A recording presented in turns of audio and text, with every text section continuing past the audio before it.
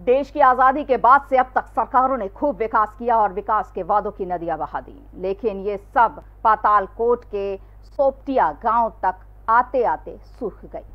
यहाँ के ग्रामीण पीने के पानी तक के लिए परेशान हैं।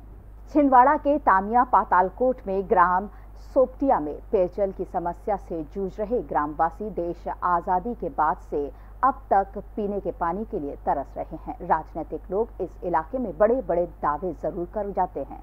लेकिन लोगों को आज़ादी के बाद से अब तक ना तो सड़क दे पाए और ना पानी पीने के लिए।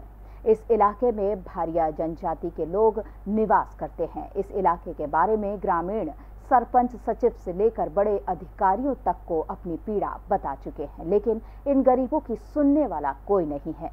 इन लोगों का कहना है सरकार सिर्फ़ इतना कर दे कि इनका जनजीवन उचित तरीके से गुजर बसर हो सके।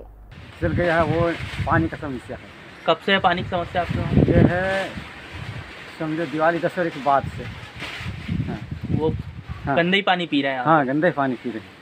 सरपंच सचिव आए कि नहीं एक आध बार देखने? सचिन सरपंच नहीं आए उनको बोल दिए बोल देखे थे उनने बोले कि भाई कल आएँगे परसों आएँगे एक तारीख में आएँगे दो तारीख में आएँगे आते ही नहीं। पानी की बेजा समस्या है बेटा।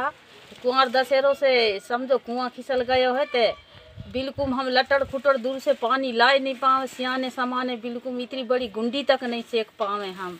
ते हमको पानी की बहुत समस्या है पानी की हमें बहुत ज़रूर है। अबे तो हम तो गंदो पानी पी रहे हैं बरसात में को जाने हमारी का हाल हो है? गर्मी बढ़ने के साथ ग्रामीणों को बड़ी विषम परिस्थितियों का सामना करना पड़ता है। खराब पानी पीने से इस इलाके में तमाम तरह की बीमारियाँ फैलने का खतरा सदैव मंडराता रहता है। अफसर इन गरीब गुरबों की सुनते नहीं हैं और नेता इन इलाकों में सिर्फ़ चुनाव से पहले पहुंचकर आश्वासनों का भाषण सुना के चले जाते हैं। अभी तक तो देखा नहीं है घटलिंगवा में कि कहाँ कहाँ पानी की समस्या मेरे पास ऐसी कोई समस्या की बात अभी आई भी नहीं है। है ना?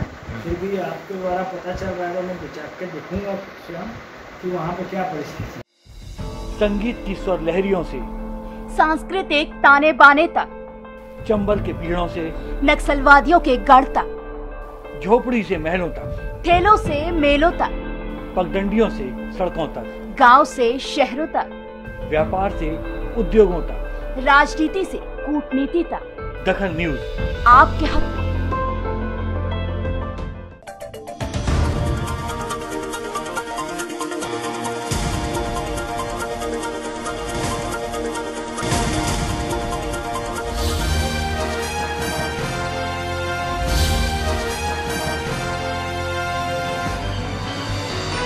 आप देख रहे हैं दखल न्यूज़।